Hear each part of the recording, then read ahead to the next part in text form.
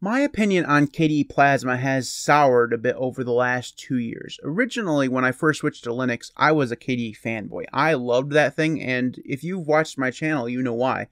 I am a big proponent of being able to customize my desktop. I want to be able to do everything. I want to be able to have an option to change literally everything. And if that could be bottled into something, it would be bottled into KDE Plasma because you can change everything in Plasma. It's just the way it is. And I think that the idea behind that is wonderful.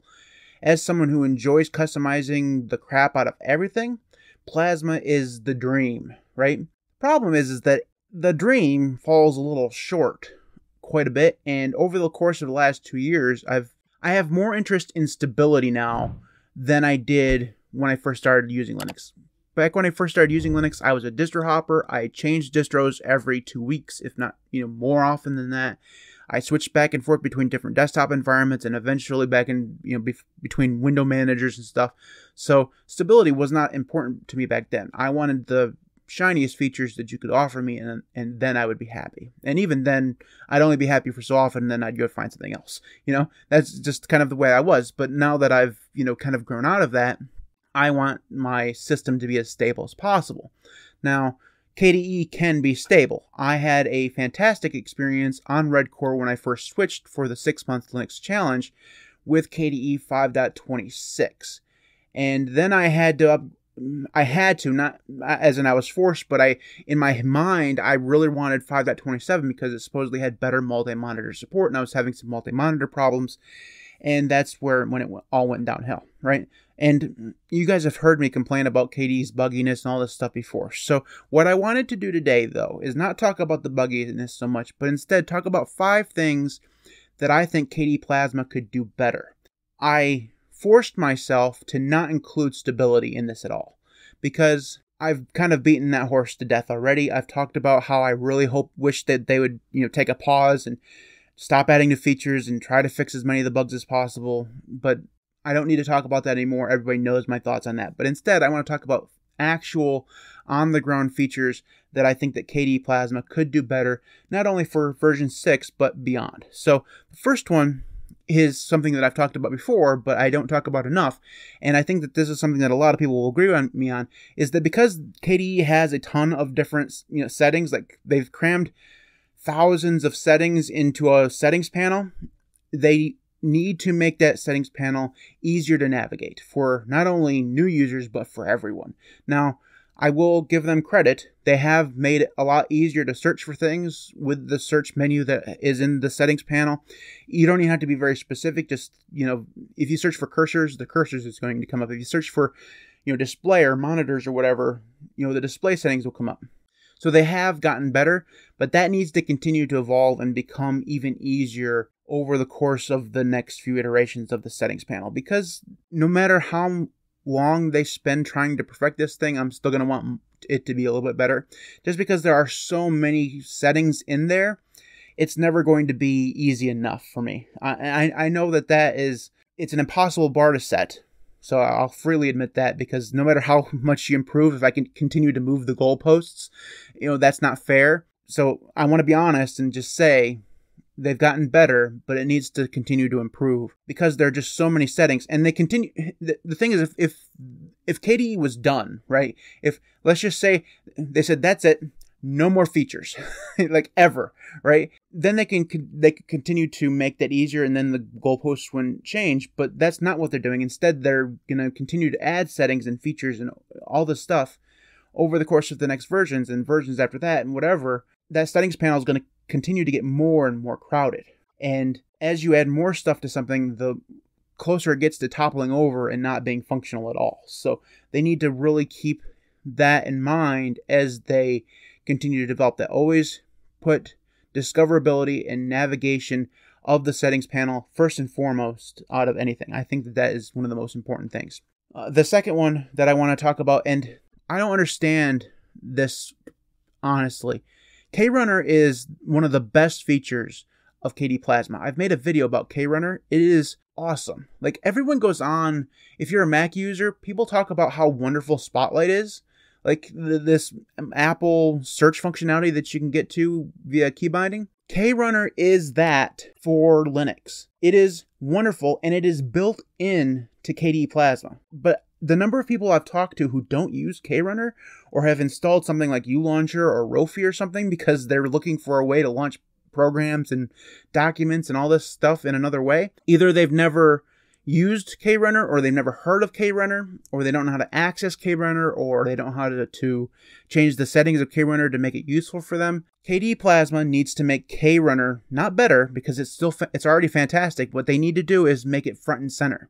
Make it discoverable. Now, it's possible that in the new KDE welcome page that was released with the last version. Maybe that's in there. I haven't actually been able to see that yet, so it's possible it's in there. But KRunner needs to be something that is front and center in front of people so that they know how to use it and access it easily because it is so good. It is such a it's a travesty that more people don't use it. It's just fantastic. And and it's not even like out of the box it's like really really good.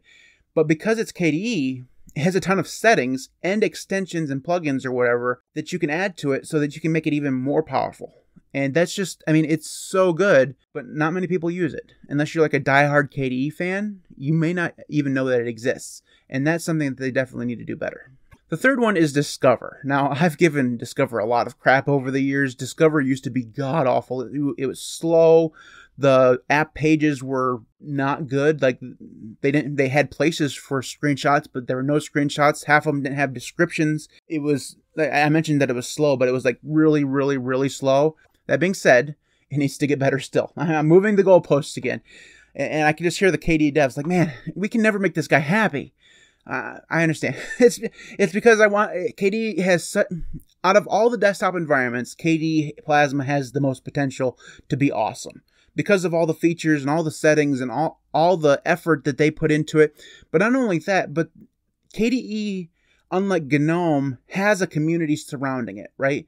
And yeah, there's a GNOME community, but they're very tightly knit and don't welcome new users easily. Where the Plasma guys, you know, they're like, come on in, you know, more the more the merrier, and, and that's why I love KDE so much. Not you know, they have a community and they want input and they're very very transparent over what they're doing and what bugs they fixed and what features they're adding and everything right? And it's just it has so much potential as a desktop environment. That's the reason why i continue to want it to be better right? So i'm criticizing with love. That let's just put it that way. So back to discover. I want it to be just a little bit better just just a little bit better. And by that vague sentence what i mean just is make it so that it is easier to discover things inside of Discover. Uh, the, the search functionality that is there now is not as good as it could be. It, it, from my experience, it doesn't always pick up the things that you're searching for. Now, it could just be that I'm really bad at searching for things, but it just feels like it's not as good at searching as it should be. Now, that's just one thing about it. But the other thing is is kind of similar to the last one we talked about is that did you know that if you go into Discover, you can find a lot of the KDE stuff there? And by KDE stuff, I mean themes, I mean uh, widgets and stuff like that, uh, different cursors and all that stuff. vast majority of the stuff that you can get in certain corners of KDE. So, like for example, if you went to the settings panel, then appearance, and then uh, global themes or whatever it is, and cl- click, and then you click the button "Get More Glo- Global Themes." All that stuff that you'd get in that panel there is usually in Discover as well. Now, where you, wh- which way of getting that stuff is better, I, I can't argue. You know, I always use the separate one, but Discover has all that stuff too. I wish that they made that more apparent, promoted it just a little bit, you know, because it's really cool that you can go into Discover and say, hey, I'd really like a new clock widget show me all your clock widgets and it, sh- it shows you the clock widgets you know that's really cool you don't have to go add widgets on the th- on the desktop and then add new widgets and whatever it is. You know, there's multiple different steps in order to get to that. You can just open Discover and find that stuff there, which is really nice. I wish they made that more apparent.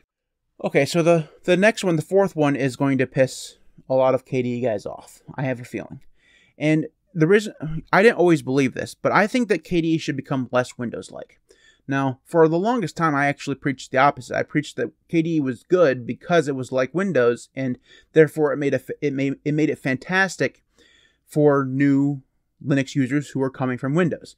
And there's still part of me that believes that. But I was watching a YouTuber today, and I, I apologize, I don't remember his name, but he was talking about why GNOME was so good, and the reason one of the reasons why he gave the that argument was because it was so unlike Windows. It forced people to think outside of the Windows paradigm because when they see a Windows-like experience, they expect it to work like Windows, and KDE doesn't work like Windows, even though it looks like Windows out of the box. It makes it harder for people to think that they're using something different when it looks so much the same. Now, I think that in some cases, this argument is not giving the users a lot of credit. Like, I think that if you've managed to download a, a distro, cho- uh, first you manage to choose a distro, download a distro, burn it onto a, a, USB, manage to figure out how to get into the boot menu of your particular machine, install Linux properly, get it set up to the point where you've chosen you've chosen everything you need to choose. You got your applications. You know chances are you probably are smart enough to, to know that you're not using windows but there's still going to be some intuitiveness there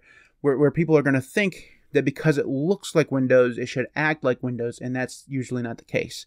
So i would like to see plasma to be a little bit less like windows just out of the box maybe use your floating panel so that it looks a little bit different. I mean, it doesn't have to be completely different, just a little bit different so people don't go into it thinking that, yeah, because this looks like Windows, it should act like Windows when it really doesn't. That's just going to lead to disappointment. So, probably not ever going to happen. They've kind of kept the same paradigm forever, uh, but it would be nice to see them change it up a little bit because I think that it would. I hate to be the kind of guy that says KDE should be more like GNOME. I'm not saying that. don't don't be don't don't go full don't go full GNOME.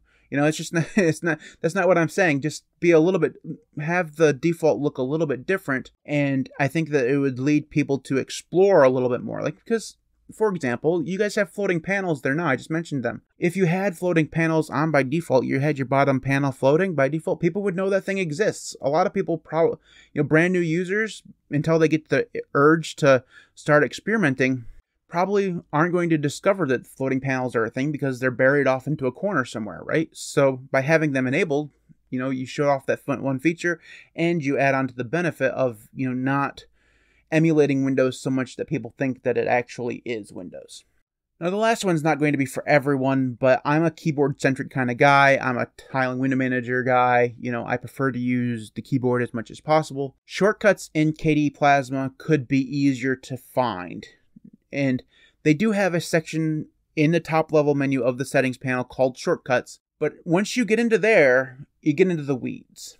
And that's because the shortcuts are all over the place. Like, for example, close window is in at least three different places. And which one you change, how are you supposed to know? Does it, if you change it in one spot, does it change it in all three? I don't know. I haven't actually che- went to check, but I'm, I'm assuming that it changes it all in all all three places. Uh, and that's not the only one. You, a lot of the KWin stuff is in multiple different places. A lot of the application things are in a lot of different place in, in multiple different places because they have these the shortcuts in several different places. You, you don't know which one to ch- change, and finding them in the first place can be a little bit diff- difficult because you have to. I mean, calling KWin KWin for new users is a little bit confusing. If you're a brand new user to Plasma maybe not even to Linux, but just to Plasma, you have to know what KWin is in order to know that a lot of the shortcuts that you probably want in order to manipulate where your windows are, how, you know, how to close windows, how to move them around, all that stuff is under the KWin's category. But if you don't know what KWin is, how are you supposed to know that's where the supposed to stuff where the stuff is that you're looking for, right? So streamlining the shortcuts so they're better organized, not in multiple places, and are better described, I think is super important. Uh, now, like I said, it's not super important for everyone because the vast majority of people are mouse centric users. But for people who are keyboard centric users, the shortcuts panel is a mess and it definitely needs to be cleaned up a little bit. So, those are the five things that I think KDE could do better. I could probably come up with five more if I thought about it for, for half a minute. And I would I don't want this to come across as I'm criticizing KDE because I'm really not. I think KDE is fantastic. I do think it has some stability problems, but most of those are just down to me and my hardware.